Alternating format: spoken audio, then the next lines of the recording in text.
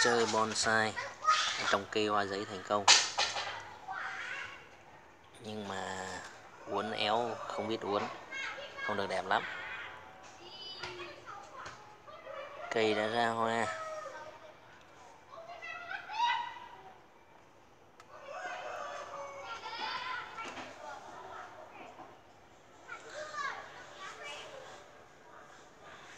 Làm dâm cố gắng cho nó ra nhiều cành hơn nữa.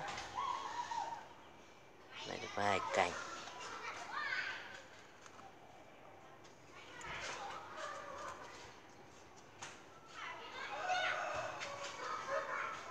Mới tập chơi bonsai.